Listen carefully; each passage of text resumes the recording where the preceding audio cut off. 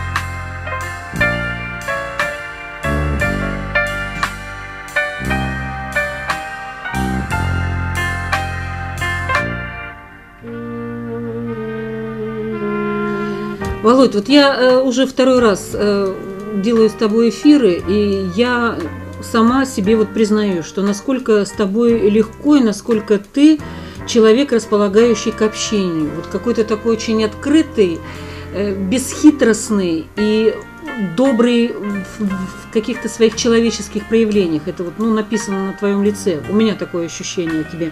Я, у меня правильное ощущение Ну, или нет? слушайте, я про себя, какой я-то, я не знаю вообще то, тонкостей-то.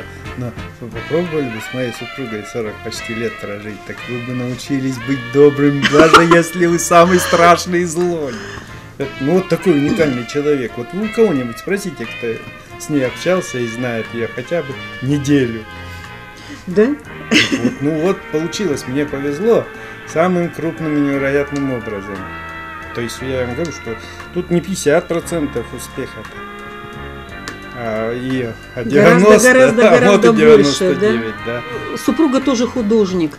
Э, Скажи, а вот ты, у вас есть какой-то такой взаимообмен? Ну, понятно. Конечно, есть, потому что у моей су- супруги еще учиться Есть можно. учиться, да? Учиться у нее надо. Кстати, человек, который ничего не делает вот так, не просто, я вот Мгм. об этом рассказывал.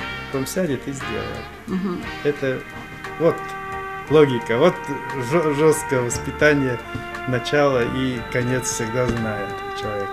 У меня нет ни начала, ни конца в работах. Это, то есть начало-то оно есть, а конца никогда не бывает. То Только есть отнять ты никогда можно. свою работу не заканчиваешь. Нет, и для- через для- для несколько себя лет, нет. а, э, подойдя к этой работе, ты бы сам себе говоришь, вот здесь я бы мог еще Ну вот доработать. уже, видите, вон, я уж переписал с выставки работу, вот эту свою. Вот этюд он есть, он больше его не трогает. А вот это, видите, я уж ее переписал, потому что я, когда прошел по своей выставке, я ужаснулся, меня холодный пот объял, я никому же это, конечно, не говорю. А, Володь, а Ну, почему тебя что-то холодный пол- пот объял? Там что, Ну, другой свет, Другой свет, свет. что ты Нет, вдруг вот увидел что-то такое, я что... эти работы видел здесь. Они здесь, я зака- при- приканчивал, доводил их здесь. И они все-таки какой-то имели характер, целостность восприятия. А в зале там все другое. Или надо освещение. Потому что я уже говорил, вот, вот верхний свет уже не то. А Мгм. надо вообще освещение не, э, ну, точечное. Что специально же не зря сейчас в музеях эти освещения делают. Или от окон. И напротив окон. А некоторые наоборот. Ты уже достиг вот э, той, того, той планки, когда к тебе приходят молодые и говорят, вот, оцените, помогите, дайте совет, что правильно, что есть- У меня неправильно. есть один ученик, как-то ненарочно образовался, Игорь Герасимов. Очень быстро все ухватывает. Вот мы с ним были на этюдах на панели на Трамбинском. Он как-то все быстро, и он, и он просто и, это, и раньше это делал. Просто ему никто не говорил, он начал в это скатываться в эту красоту какую-то, в эту салонщину. Мгм. Он- когда стали, я пошел к нему работу смотреть. Ну надо же работать, надо в Союз везти туда, на Покровку Москву.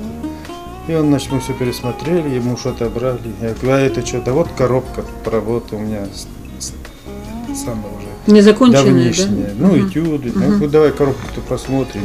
Как стали коробку смотреть, вот там уже откуда у него это. Ну, чё, вообще, а что его учить-то? Мгм. Там такие работы есть маленькие, небольшие.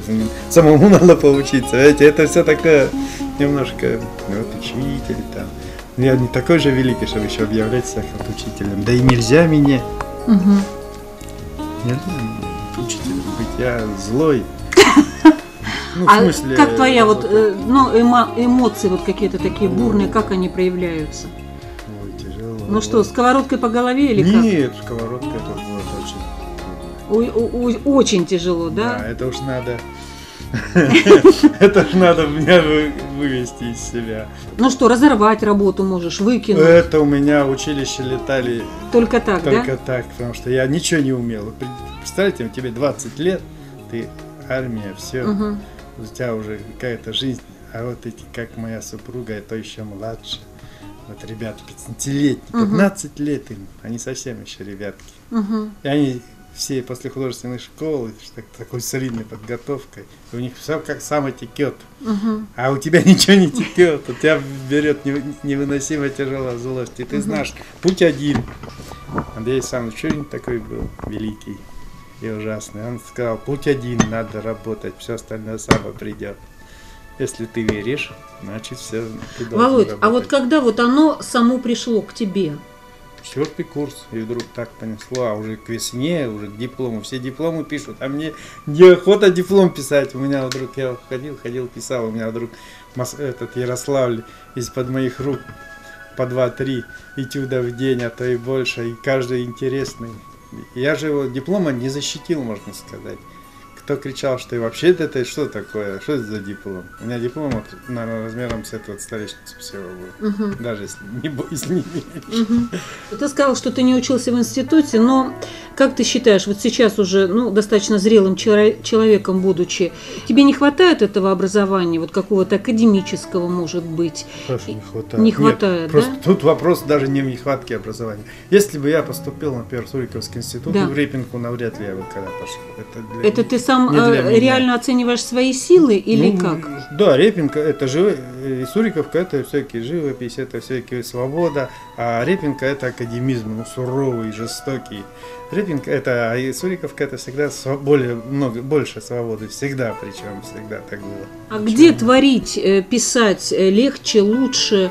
Э, Здесь вот в провинции или на периферии? Вот я в свое время помню, э, встречалась э, с Владимиром Васильевым э, в Угличе и брала у него интервью, наш великий артист э, балета.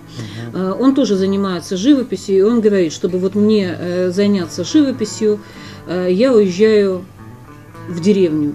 В деревню и там пишу. Он тоже пишет пейзажи, портреты. Вам, сударь мой, надо уезжать куда-то. Кто как хочет, у кого к чему лежит. Вот есть он девушки, там я московскую знаю, она ездит вообще по всем провинциям. Вот мы с ней были в Тутаеве на пленэре. Мгм. Она там делала все. Какой Тутаев пишет? У него такой, у нее нет, потому что у нее свой, свой взгляд. Вот она тут флешмоб был, недавно она выставила свои работы, уже сделанные по Тутаеву, не, не этюды там, там такой Тутаев. Тутаевцы Не- и не видели, и не знают. и не обрадуются. Не обрадуются, Не да? Можно смело сказать, что это один из любимейших художников наших горожан и а, окрестных жителей, жителей окрестностей Рыбинска, поскольку его творчество посвящено действительно изображению а, загадочных, меланхоличных и красивых уголков русского пейзажа, действительно наших мест Рыбинского района, Тутаева, города Тутаева и, конечно же, Владимир Павлович пишет и а, пейзажи городские, старинный Рыбинск, например. Как ты себя каким образом ругаешь, бронишь внутренне, когда Ну вот ничего не получилось. То есть работа сорвалась, и все твои ожидания Злюсь, снимаю мастихином и жду следующего утра. вот так вот, да? Ну а как? Успокаивай как-то. Если часть себя не успокаивать, это может нехорошо кончиться. Мгм. То есть дожидаешься, время проходит, и ты как-то гасишь эмоции, и Да, все чтобы- себе говоришь, ну нельзя ну так, что, получается, то ты должен себе говорить, что получается очень редко, по-настоящему, как тебе хочется, то есть почти никогда. да? Мгм. Ну что, вот, вроде получилось. Но если сразу несколько работ вести, можно просто взять несколько работ вести. Ну, какую-нибудь малютку. что-нибудь. Мгм. А малютка, она быстро, вот она есть. Мгм. Нет, всегда хорошо, когда что-то у тебя, ты чувствуешь, что вот что-то все-таки получилось. Может, на завтра придешь уже, смотришь, и не получилось, но ты уже ушел из мастерской, получилось. Хуже, конечно, когда уходишь. Но сейчас это как-то реже. Я как-то смело беру, на стихином снимаю и начинаю заново. Володь, вот смотрю, повернулась лицом к твоим картинам, и э, на выставке ли, здесь ли в мастерской у тебя, это везде пейзаж, это виды нашего родного Рыбинска. Вот скажи, пожалуйста- Рыбинска как раз очень мало. Ну, э, Ну вот, городские, вот, деревенские, вот, вот. Рыбинск, я просто вот виды а, наших- это, а это потому, что я тут на этюды ходил. ну, вот. Когда было тепло, и сегодня тепло. Нет, ты меня но поддел, сегодня- но я же вижу, что это вид нашего Да, да, Рыбинска, это улица да? Чкалова. Да, это улица Чкалова. Володечка, вот скажи, пожалуйста, что э, и э, когда художник понимает, что он э, такой жесткий портретист, а этот пишет пейзажи, а этот силен в натюрмортах. Вот когда вот это деление происходит? Не все понимают. Все пытаются писать. Сейчас я покажу. Мой автопортрет. Большой автопортрет, я вам скажу. 90 на 90. Ух ты, ёх ты, да, это много. Так, так бородатый. Да? такой. Мама, Это мама, моя. И она похожа. Фото. И она похожа, да, действительно. Володь, так ты мне все-таки не ответил на вопрос-то. Вот когда художник понимает, кто он, портретист, пейзажист, э, натюрморты ему суждено писать? Или он никогда может и не понять этого? Вообще надо стараться все. А, художник должен уметь все, да? По идее, да. Но все равно у всякого художника что-то лучше получается, что-то. Некоторые пишут натюрморты, как это сам. Нет, обычно нет. Вот натю- некоторые пейзажи пишут как натюрморты. Некоторые картины пишут как натюрморты. А пейзажисты, они всегда пишут только пейзажи. Для того, чтобы писать пейзаж, тоже определенное какое-то чувство иметь. Вот я не знаю, как это так. Это кажется, вот все смеются, на самом деле пейзажистов-то не так много. Пейзажи-то пишут все, кажется просто, а, а на самом, а умеют пейзажи писать очень мало людей. То есть вот все так же, как и портреты. Вот если у меня Галина, у нее, она может портрет написать. Для меня это вот, я буду год с ним возиться еще, может, может покажу, а может и не покажу. Мгм. Когда ты смотришь на работы своего сына, э, ты говоришь, э, слушай, сынок, вот здесь ты меня лучше сделал, ты, ты превзошел меня в чем-то. Или Да пока еще не еще вижу. нет? Не вижу Так пока вот, э, еще. критично относишься к работам сына? Нет, там их же институт, они людей заморачивают, они людей выучивают и забивают одновременно. Мгм. Что-то с ними делают, особенно институт имени Репина. Мгм. Это какая-то беда. Я сколько людей из Репинки не встречаю, они все больны на голову слегка. Нет, ну серьезно. Для меня, как я понимаю, человеческие отношения. То есть что-то там, там очень суровое обучение, то есть очень жесткое, очень серьезно. Но искусство это же вещи вообще понятно. Она Несерьезная? Она вроде бы серьезная, да, там столько надо сил, столько всего. На самом деле, если относиться очень серьезно, то это погибель для человека, который занимается этим. А ты хулиган? По жизни-то По жизни и в творчестве. в творчестве это слабовато, надо бы посильнее. Посильнее ну я вс- хулиганить, Но да? я все время никак не хулиган, весь хулиганы настоящие в искусстве. А я-то... Нет, ну я пытаюсь каждый... Я не, не придерживаюсь никаких догм. А я кто хулиган в свою дорогу. Много. Ну вот так, Почти все великие. Все великие хулиганы, да? Да, конечно. А как ты по-другому? Вот человек настойчиво переступил грань. Почему они великие? Они переступают грань какую-то. Я- Кандинский, я Пикассо, Дали, да, да, хулиганы? не- да, конечно. Я никаких граней не- я еще не переступал и навряд ли успею. А хочется? Нет, ну это надо же, к понимаете? этому надо стремиться? Да, ну надо, конечно. Нет, это же на, на это же нужно время, это же так просто не делается. Не, ну это нормально. А как? Вот тогда ты учишься, тогда тебе внутренний голос говорит, ну что, Владимир Николаевич, что-то ты слабоват, пора, надо еще круче гайки закручивать. Ну вот как-то так, ну все же так, они. Это же естественный процесс. Я уже, это, наверное, каждый художник знает. К вопросу о красках. Вот то, чем ты работаешь. Э, Краски были э, лучше, качественнее, необычнее, не знаю, как... Краски сейчас всякие есть. э, Хорошие. Чем, например, скажем так, чем, например, в эпоху Леонардо да Винчи? Во как. Леонардо да Винчи краски масляные изобрел. Знаете? Мгм, да. Там все было вообще натурально. Так, ну вот я относительно вот тех натуральных Да. красок и э, настоящих. Технология была... Вообще, э, есть такой предмет в учебных заведениях художественных, называется технология живописи. Техника и технология живописи. Их сдают, и они стоят в дипломах. То есть, по сути дела, люди должны быть э, техник, технологию изучать, как грунтовать, как натягивать, что, ну, что можно делать, что можно, что нельзя делать, какие краски можно мешать, какие нельзя между собой мешать. Химические процессы, наверное, да, какие-то потому что происходят очень- химические процессы. Вот тонкие. и все там, что например, строго запомнил. Леонид, это самое. Чурин нам говорил, Андрей Александрович, ну, не мешайте вы никогда изумрудку с краплаком. Никогда. Это очень красиво и мощно. Почти такой глубокий черный цвет получается. Но ведь это уже все серо будет через пять лет. Вот так вот, да? Да. То есть вот это надо все знать и просчитывать. Судьба фактически Ну, картины смотрю, от все этого, мешают, да? Все мешают. Все мешают. Так все-таки вот, э, Володь, ответь мне, вот краски краски теперешние и вот времен, как я сказала, Леонардо да Ну, Винчи. я про те краски ничего знать не могу. Но тем не менее, хотя бы я то, что ты знаешь из не истории. интересовался. Я знаю, что вот краски были, вот о красках я могу только говорить о советских, Мгм. которые были в основном, конечно, самые лучшие это были питерские, Ну, там это подольские так, да. похуже и гаммовские так себе тоже.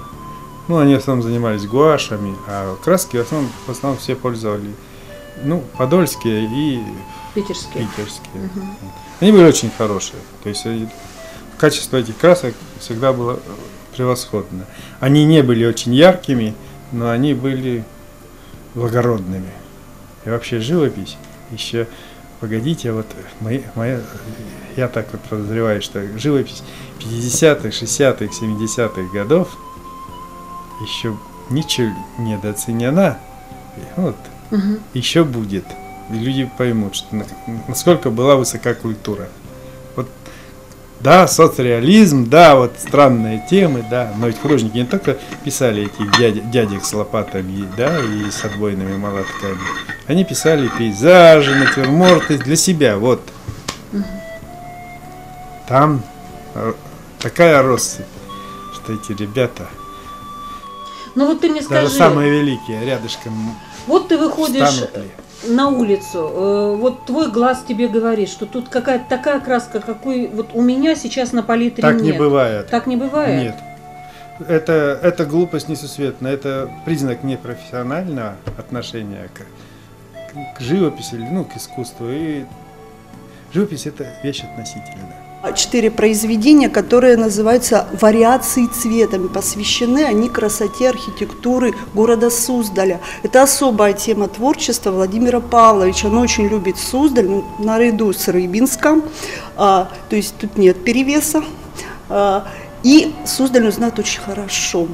Примерно с одной точки написано, но в разное время года и в разное время суток. И мы, глядя на эти произведения, можем получить впечатление от состояния красоты Суздальского городского пейзажа в разное время года, в разное время суток, потому что выглядит все это совершенно различно. А, Собственно говоря, хочется сказать, что Владимир Павлович а, очень а, умело передает состояние природы э, в разное время суток, очень чутко он к этому относится, у него довольно подлинно это все получается. Андрей Александрович Чурин учил меня так. Ну, не меня, а многих, если кто слышал. Можно взять за основу вообще там несколько красок.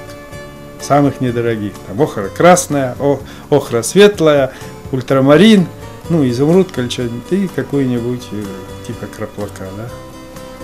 Или и синий ультрамарин. Все, больше ничего не надо. Или голубой, когда там ты идешь на небо более голубое писать. Хотя это не обязательно. И черное с белой. Все, больше ничего не надо художнику. Вообще, существует вообще понятие трех красок. Желтая, красная и синяя, и черно-белая. Но таких просто нет идеальных красок, они имеют разно, разнообразные оттенки, да? А так вот, по сути дела, из них можно сделать все. И художник, он решит любую задачу. То есть он просто вправе это сделать, Он, да? он, если, значит, ты не профессиональный. Ну, вот дилетантство, это твое дело. Нет, ну на самом деле, потому что все относительно. Ну как же рисунок? Вот чер, белая бумага и черный карандаш. Или наоборот, черная бумага, белый мел. Ну чего? Так это же не живопись, ради может там есть такие живописные рисунки, что упадешь там почти до иллюзии материала, потому что глаз человеческий же он устроен так, он видит только то, чего попадает в тон, правильно, а дальше в тон и цвет. Потому что, Володечка, как ну нас вот учили, цвета без тона не не существует. равно. существует, да? Все равно не существует. Ну как, он же цвет, он имеет тон. Да, да, да, да, да. Вот ты, ты его сделай, сделай раскладку, сфотографируй на черно-белый, переведи, вот он весь будет в тоне, правильно? Конечно. Последний вопрос. О чем сейчас мечтает художник Владимир Палкин? Найти какой-то ход, вот решение чего-то такого, чтобы вот как-то необычно, новое и в то же время не нарушало мой строй, вот как я и какой я есть. Вот это очень важно. Вот надо чего, к чему стремиться.